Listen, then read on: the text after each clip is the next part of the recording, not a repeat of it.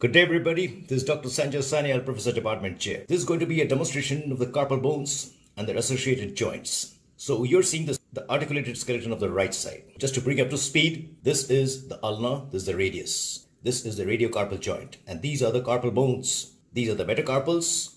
So this is the metacarpal of the thumb, second, third, fourth, and fifth, the little finger. And these are the phalanges. It is said that this is the X-ray of the wife of Röntgen, the discoverer of X-ray, though this has not been verified. So let's focus on the carpal bones on the right side. We see this one here. This is the pisiform. Under that, we see the next bone. That is the triquetral. Then we have the lunate. Then we have the scaphoid. Then we have the trapezium.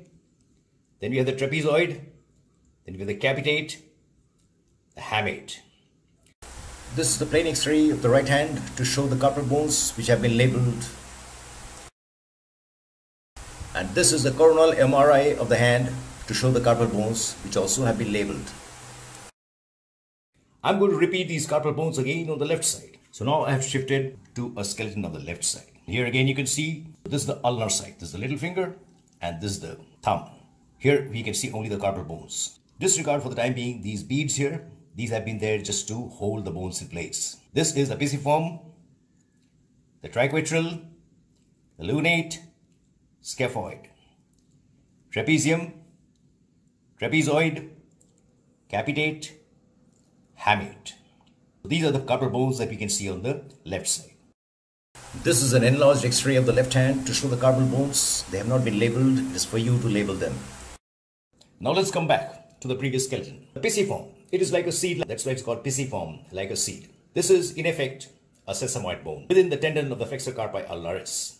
The flexor carpi ulnaris comes like this. This bone is inserted within that tendon and extending from this pisiform bone, there is a ligament which goes from the pisiform bone to the hook of hamate and that is called the pisohamate ligament. Pisohamate ligament incidentally forms the boundaries of a small canal approximately an inch or so which I shall mention later which is called the Guyon's canal. So this is the pisiform bone.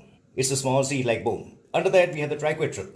This is roughly shaped like triangular pyramid. That's why it is called triquetral. To understand the shape, I will again take you back to the previous one. This is the other skeleton and you can see that this is the triquetral and it looks somewhat like a triangular pyramid. Then we have the lunate. I'm showing the other skeleton, the one on the left hand. Lunate means like half a moon and you will see if I turn it, you'll see that it looks like a half a moon. That's why it is called lunate. Then we have the next bone. This is the scaphoid. The scaphoid has got a narrow portion in the middle and that is called the waist of the scaphoid. So therefore this is the distal portion, this is the proximal portion.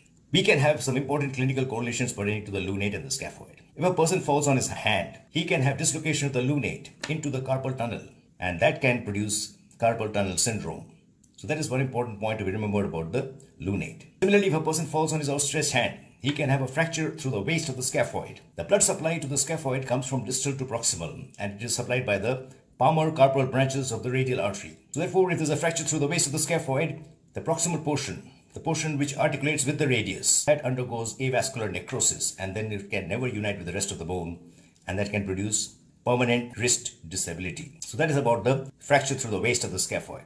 This is the trapezium and if you look, you'll find that there is a groove under the trapezium. That is the groove which is formed by the flexor carpi radialis tendon. And I will turn it to show you the groove. That is a groove. And that is called the flexor carpi radialis tunnel. The flexor carpi radialis goes through that and it is partially inserted onto the trapezium and it gets inserted onto the second metacarpal bone. That is the primary insertion and there may be a small insertion on the third metacarpal bone. So this is the groove for the flexor carpi radialis, the flexor carpi radialis tunnel. The trapezoid. Both of these are like a trapezium. Well, this is a smaller one. That's why it is called trapezoid. Capitate. This is the largest bone and it's like a head. That's why it's called capitate. And the hamate is like a hammer and it's got a very prominent projection and that's called the hook of the hamate. This hook of the hamate can be fractured, especially if a person falls on his hand. This is a 3D reconstructed CT scan of the carpal bones to show fracture of the hook of hamate. Moreover, this hook of hamate also forms the boundary of the Guyon canal, which I mentioned earlier. In either of these situations, it can produce distal ulnar nerve neuropathy and can produce ulnar claw hand. This is a clinical picture of a patient with distal ulnar neuropathy producing ulnar claw hand. Having mentioned these points, now let me mention to you some important attachments of the flexor retinaculum here. So for that, I'm going to come back to the previous skeleton. Again, this is the pisiform bone. There's a tough ligament which extends across the carpal bones and that is called the flexor retinaculum. It's also called the transverse carpal ligament. It is attached medially to the pisiform bone and to the hook of hamate. Roughly rectangular in shape. Laterally, it is attached to the tubercle of the scaphoid, tubercle of the trapezium.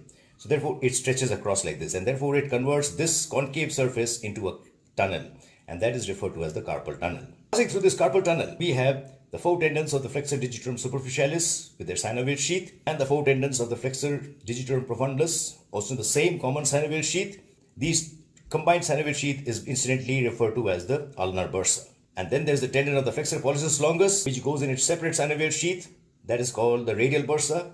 So therefore these nine tendons and also passing through the carpal tunnel is the main trunk of the median nerve which goes through the carpal tunnel and it supplies the muscles of the thenar eminence. Therefore, in carpal tunnel syndrome, there can be hundreds of causes of carpal tunnel syndrome. Median nerve can get compressed and it can produce weakness of the thenar muscles and numbness, tingling and paresthesia of the lateral three and a half digits. But the palmar skin will be spared because the skin of the palm is supplied by a separate branch which goes outside the carpal tunnel. So that is about the carpal tunnel.